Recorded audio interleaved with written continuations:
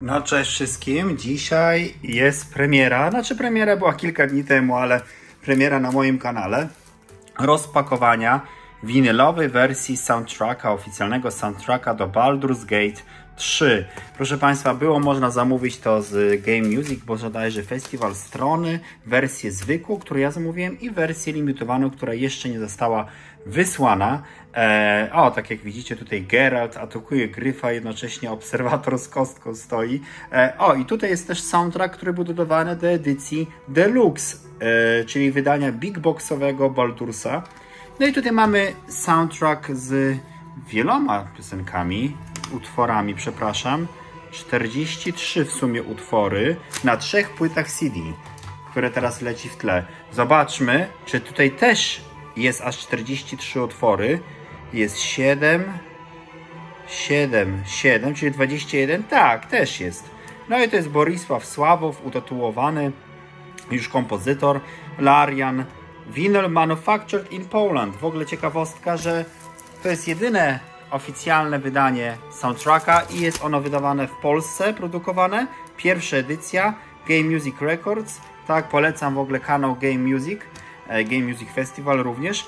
Zobaczcie, bardzo miło, że polskie, polski winyl z logiem Wizardsów, Larianów i tutaj Game Music Records. Szanowni Państwo, przede wszystkim grafiki w środku są wynikiem pracy polskiej artystki. Bardzo przepraszam, ale teraz nie przypomnę sobie jej imienia i nazwiska. Wrzucę w komentarzu. Zobaczcie, jaki piękny winyl. Winyl naprawdę jest pięknie zapakowany, tak, jest tutaj folię, jest bardzo ciężki, zobaczcie, tutaj mamy jakiegoś smoka i inne potwory, o, tu jest obserwator jakiś, tak, tutaj Sowo Niedźwiedź, na grzbiecie mamy po prostu nazwę, Borisław Sławow, tak, czyli pod batutą, jak to się mówi, Borisława Sławowa, który był w Polsce e, i z tego co pamiętam była ta muzyka z Baldursa właśnie grana, bodajże to było we Wrocławiu, o Jezu, ale ciężko idzie. To chwilę może cięcie zrobię. Nie, nie będę cięcia robił. Dam radę jedną ręką. Oczywiście nadal się nie zrobiłem statywu. O. Dobra. Dobra, tutaj wyrzucamy folię. Ok, no to otwieramy to piękne cudo. Ja Wam muszę powiedzieć, tak szczerze, że tylko edycja zwykła, nie kolekcjonerska tego winyla, ma tą piękną grafikę.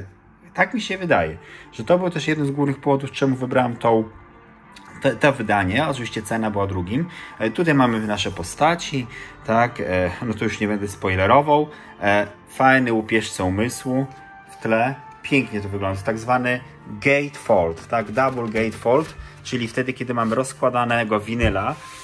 A, i w środku mamy płyty, tak, czyli mamy dwie płyty tutaj po jednej stronie, zobaczcie na, o kurczę, robi wrażenie, to nie są picture diski, słuchajcie, to są 180 mg 180 gramowe, przepraszam, czarne winylowe płyty, tylko w takiej po świecie, przepraszam, że palcuję, fioletowej. Nie wiem, czy to widać akurat na...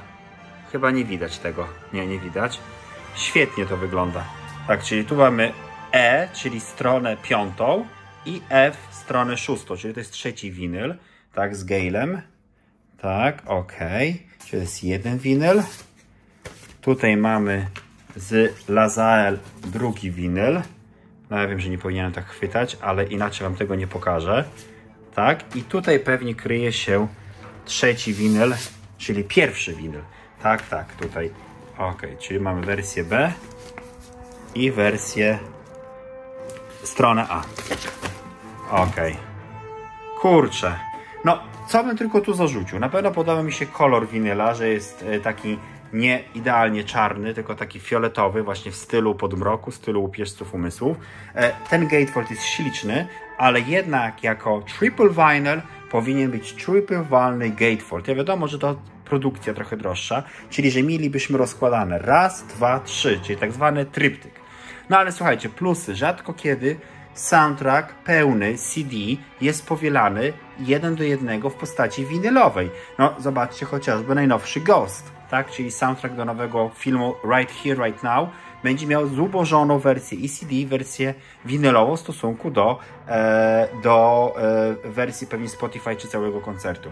No, w każdym razie, dla fanów Baldursa do uzupełnienia kolekcji jak najbardziej polecam. Polska produkcja, warto wspierać polskie produkty, a ja się biorę za słuchanie winyli. Muszę go wyczyścić oczywiście najpierw i porównania jakości do wersji CD. To trzymajcie się.